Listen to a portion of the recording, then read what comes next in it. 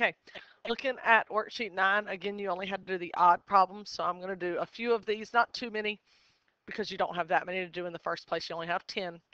Okay, so the first half, the top half, is asking you just to simplify, meaning we're just combining like terms. So I'm going to start here by distributing my 3.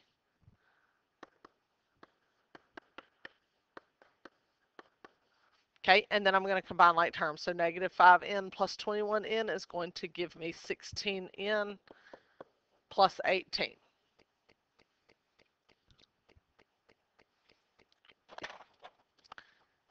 Okay, I jump to problem number seven. Okay, and again, I'm going to start by distributing. So I'm going to distribute a negative 2 here. So that's negative 2b plus 2c. Distribute a 5 here. So that's 5a plus 5b minus 5c. And then the minus 14. All right, so combine like terms. So we've got a, 5a. You're going to have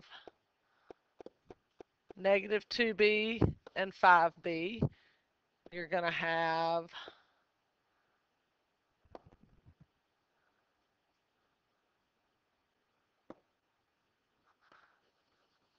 two C and negative 5C. And then the last one that you have here is going to be your negative 14. Okay. All right. So combining A's, A plus 5A is 6A. Negative 2B plus 5E is 3B and 2c minus 5c is negative 3c minus 14. Okay. All right, so 11 through uh, 19 for y'all will be uh, solving. Okay, so inequalities, make sure the one special case is when you divide by a negative or multiply by a negative, you have to flip your sign. Okay, so here I'm going to move my 2x first.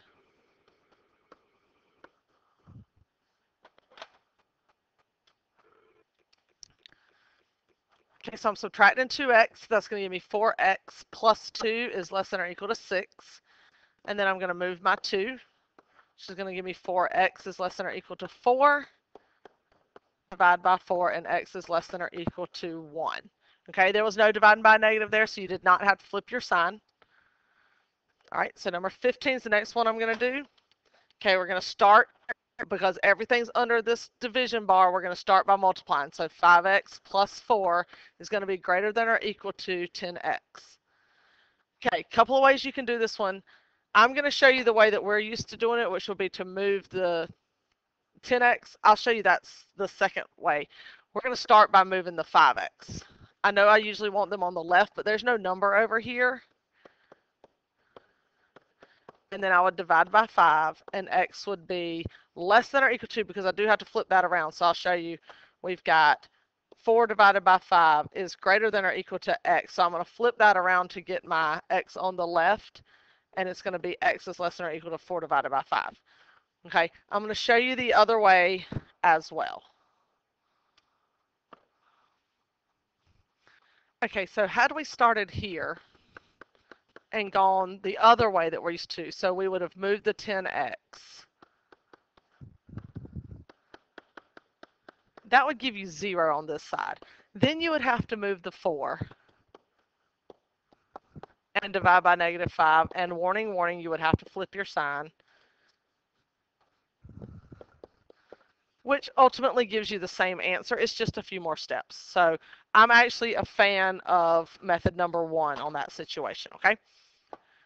All right, so last one I'm going to do over here, we're going to distribute first. So that gives me negative 5 plus 25x minus 40x minus 10 is equal to negative 4x minus 8x.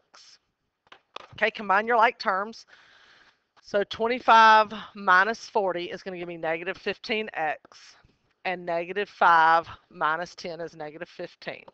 These are the same, so we're going to put those together, and that's negative 12x. Okay, it is an equal to sign here. So again, I'm going to move the 15x.